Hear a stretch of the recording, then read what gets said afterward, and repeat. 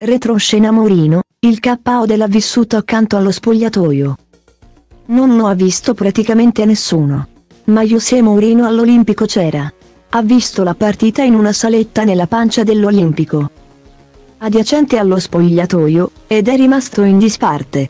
Ha vissuto il prepartita con i suoi giocatori. Ha fatto la riunione, è arrivato allo stadio con la squadra e poi è rimasto solo. Il silenzio di Mourinho sui social per adesso non ha detto né scritto nulla sui social. Anche per rispetto al silenzio stampa deciso dalla società, dopo la conferma delle due giornate di squalifica. Chissà se cambierà idea nelle prossime ore.